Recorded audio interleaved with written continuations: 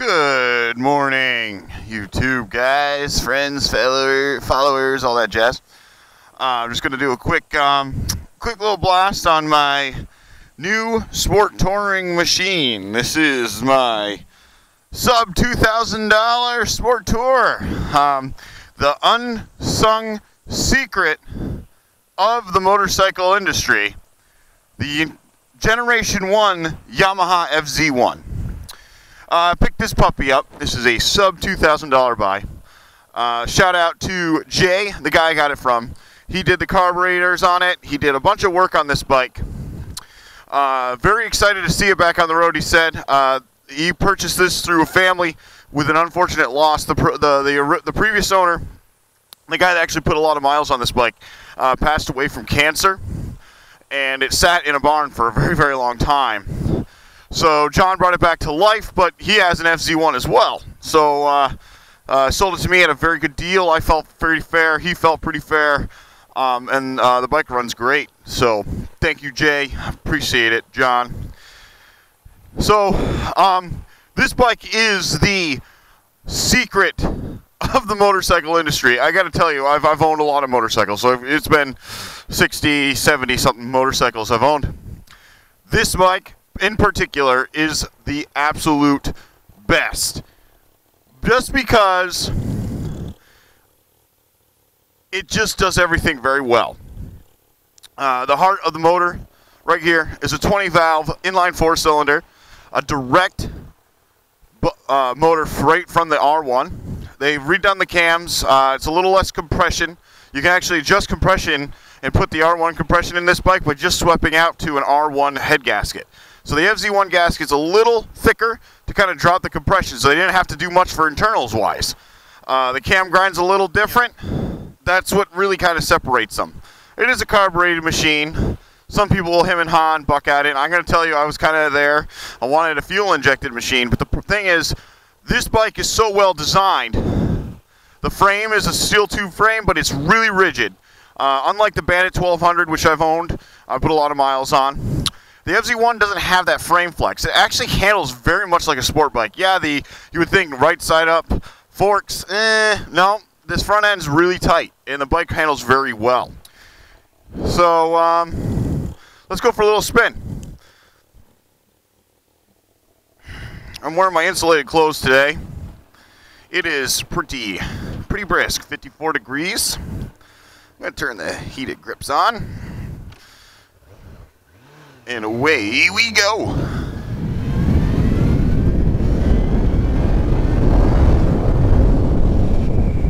This bike is um, incredibly quick. Uh, 0 to 60 is uh, stock in uh, 2.7, 2.8 seconds. Uh, 0 to 100 is less than 5, or around that 5 range. Uh, quarter mile is a 10 second bike, stock. Of course, this bike probably, with my fat butt on it, will not I'd be lucky to be in the 11s.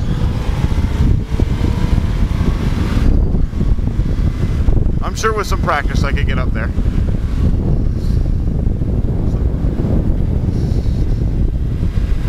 It handles very well, and that's the thing is this bike is very, very solid. Uh, you would think with a steel cradle frame, you get that traditional flex that you see in most standard motorcycles that have a steel frame. Not so much with this FZ1. They really did it good on this. And what happened was this is basically the last great standard bike that uh, really, I think, hit the market. And this bike's got an incredible amount of roll-on. It makes 70 foot-pounds of torque, which is actually pretty high. If you compare it to my 2018 Triumph Bonneville T120, it makes almost as much torque, but almost 50 more horsepower. Impressive, quite impressive. Oh, it's a beautiful morning here in Vermont. Like I said, it's about 54 degrees. Having those heated grips are super, super nice this morning. Um, so, most folks are tuning into this channel. They know me. I'm the T120 guy that's putting ridiculous miles on my T120. And a lot of folks are going, what, what, what? So why did Jedz get a FZ1?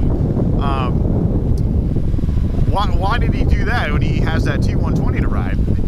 And uh, I'm going to tell you that uh, I'm hitting that 40,000 mile mark, and this is an FZ1 kind of day, so I'm not going to go into it too much, but basically the T120 is really starting to uh, show its age um, at 40,000 miles, which is kind of sad. It's only a year old, but I'm having all sorts of random problematic issues with it. Um, you're really starting to realize that the build quality is not that of a Japanese motorcycle. So, um, that being said, I'm really realizing that, um, you know, I, I, can't really rely on the bike. And um, so I got this puppy here. I'm planning on a cross-country trip. And uh, from all bikes of my past, the FZ1 has been the most reliable bike I've owned. Even the Bandit had its moments where it let me down or broke down or something happened. The FZ1 never let me down. So uh, I had about uh, 76,000 miles on my last one when I sold it, and um, it had an incredibly hard service life. I definitely was not hard on it, or definitely not easy on it. I molested the hell out of it. All the plastics were all shattered. Um, it was just in wicked rough shape. Uh, but uh, I was, and it was time to just do an overhaul on it, and I wasn't really willing to do that. The fairing, uh, I've got a stock windshield on this. I'm going to be getting a touring screen. Right now, all the wind is kind of hitting me right in the chest, uh, but it has offers great leg protection. I'm actually quite comfy on this thing. But the Gen 1 FZ1 is definitely the unsung hero of the standard motorcycles. Uh, probably the best UJM out there. I may be a little partial because I own one, but um, it definitely is uh, a phenomenal bike. This guy, I think he's to let me go around.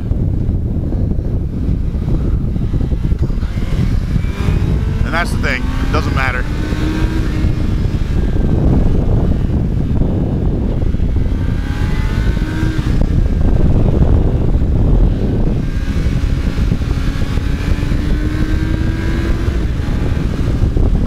nice to be on a proper again.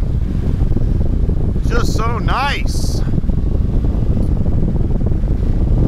So Yamaha released this bike. There was a 600 variant first, and it was called the Fazer. Uh, you might hear me refer to it as a Fazer or Fizzy, um, kind of what we FZ1 guys, FZ guys call them. And the uh, FZ Fazer 600 uh, came out and uh, there was uh, the FZR in the market of uh, in America, uh, the United States for a while, but it was kind of like you know a run-of-the-mill, uh, kind of like the Katana, but never really quite caught on like the Katana. The Katana was a more standard bike. The FZR was more of a uh, you know sport bike, so it wasn't as comfortable to ride.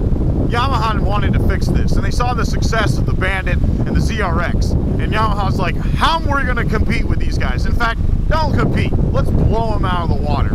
So the FZ1 was born. It came out in year 2000 as the Fazer 1000S, which was a freaking, and it, when it came out, it was beyond its time. R1 brakes, R1 engine is worlds ahead of the Bandit 1200, and that was the whole point. They saw the Bandit 1200. It was a fast bike, 0 to 60 was in the 3 second range, and it did a quarter mile in just under 11 seconds. It was 10.98 or something like that. So Yamaha was like, we need to do one better. So they took the R1, which was the super bike of the time, and really was the industry standard of what was a fast motorcycle. And they stuffed that engine in a standard bike, an upright machine, so people could tour, cruise. You know, the beautiful thing about a big horsepower engine is that you don't use it all the time. So the motors will last longer, they're not as worn, they're not spinning as fast to make power. And uh, that was the thing about this FZ1. So they release it and it just destroys the competition. And the Gen 1 is really the last point where Yamaha took the FZ line and kind of shifted it towards the more sport end instead of the more standard end. So, I mean, this is really like a super standard. They call them super standards. Uh, it was a little rivalry they had between Kawasaki, Suzuki. And uh, Yamaha obviously had the better bike. But what ended up happening was in 2006, Yamaha was reinventing its image and they were all going towards fuel injected machines. Carburation was out. Suzuki was lagging behind in the R&D. And so Yamaha went for the punch and they updated the, the FZ1 with the Gen 2 mono, uh, you know, twin spar aluminum frame. Uh, you know, they went away with a steel cradle frame, inverted forks, which were absolutely horrible.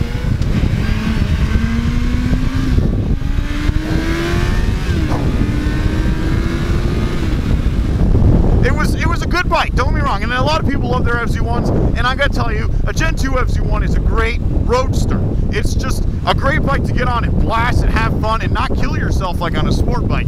But you got a range there, about like 250, 300 miles, and you're done. This was probably the best bike, standard bike, because after the Gen, Gen 2s came around, they're really not standard motorcycles anymore. They're more of an amalgamation back to the FZR route of a sport kind of standard bike. So, um, you know, that's why I think the Gen 1 FZ1 is the best uh, uh, FZ1 that they, they ever made.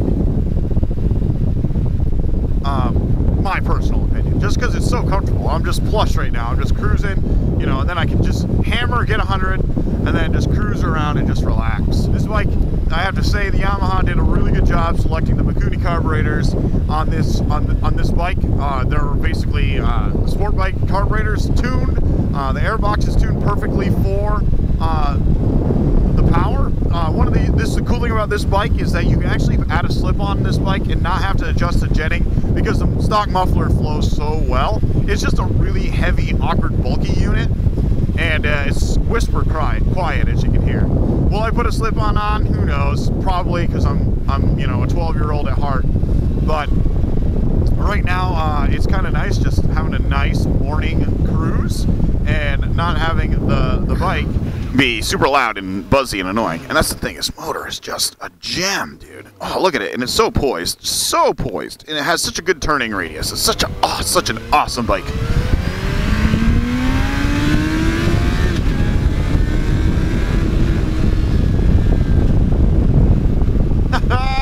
the on this thing is just a gem too. Uh, they really, this it's just an over-engineered bike. So the motor's, you know, like the R1 derived engine. It's a six-speed transmission, uh, which was ahead of its time because both the ZRX and the Bandit 1250 or 1200 were five speeds. This was a six-speed, but because it was a, an R1 engine, it was designed to be handle a lot of abuse. With a slight detune um, and dropping the rev range a little bit, you're going to add a little longevity.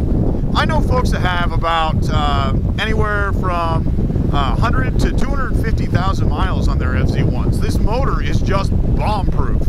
Uh, I've read on the FZ01 forums that there's probably at least 15 people that have done valve checks on these things, and every single time, even from the factory, the valves are spot on. I will be doing a valve check on this because they're at 26,000 mile intervals, and, which is incredible, but you never have to really adjust them. So I'll do my check at 26,000 and if it's in spec, I will slap the valve cover gasket back on and I'll never open up again. Uh, let's just do a little roll on here.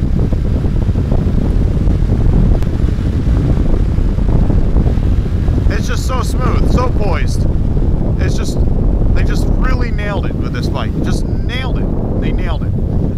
The average uh, fuel economy of uh, Gen 1 FZ1 is around 40 to 45 miles an hour, or miles per gallon, I'm sorry. And that's all depends on how, uh, you know, generous you are with the throttle. This bike really doesn't need a lot of full throttle to get it going and moving. But uh, some folks, like myself, tend to, to, use a little more throttle. So, uh, wow, just, ah, the brakes are so, so good, so good. It's so nice to be on a proper motorcycle again. Not saying the T120 is not proper. The other thing you got to worry about is when you hit that 7, 8,000 mile mark in first gear, if you're not delivering the power correctly, because there's no traction control, no ABS, just like a good bike should, uh, it will wheelie uh, under full throttle. So just uh, keep that in mind. If you do get one of these and you're really starting to rip it, and if you're uh, uh, kind of a, a, newer, experienced rider with 1000cc bikes, uh, just be keep an eye out for that. Oh, hello, Turkey. Come here. Let's see if we can sneak up on these guys. Hi, Turkey. Hi. Hey, buddy. How you doing? Don't mind me.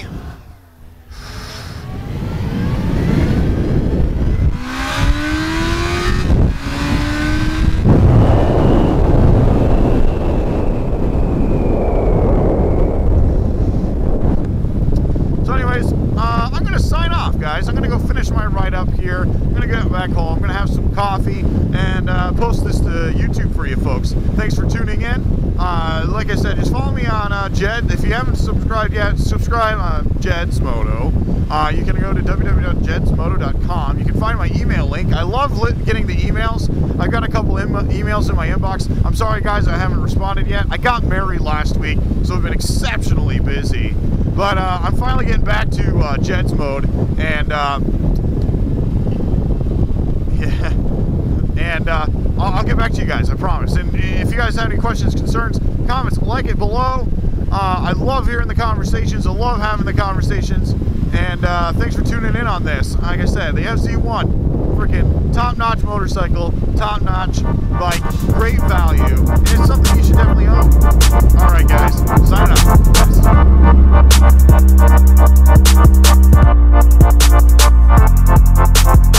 up.